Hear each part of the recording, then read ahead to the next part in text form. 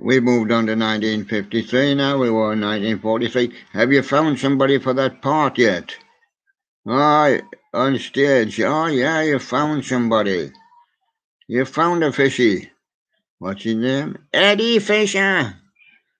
He's a distant relation of uh, Billy Bass. Uh, he's, not a, he's not interested in singing as a fish.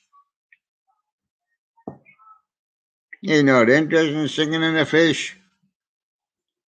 Eddie Fisher. Eh? He lived in Hollywood, didn't he? I mean, I read somewhere that he married three Hollywood actresses. Not at the same time, like. he lived with three Hollywood actresses. He got like he liked living in Hollywood, you see. yeah. He had a great method for finding them, you know. I'm walking behind you. oh, hold on a minute. Hello there. I'm Eddie Fisher. uh, I live in Hollywood. Charming. We'll have to get a fish for the part, not an Eddie Fisher, man. Eddie Fisher, I'm walking behind you, 1953.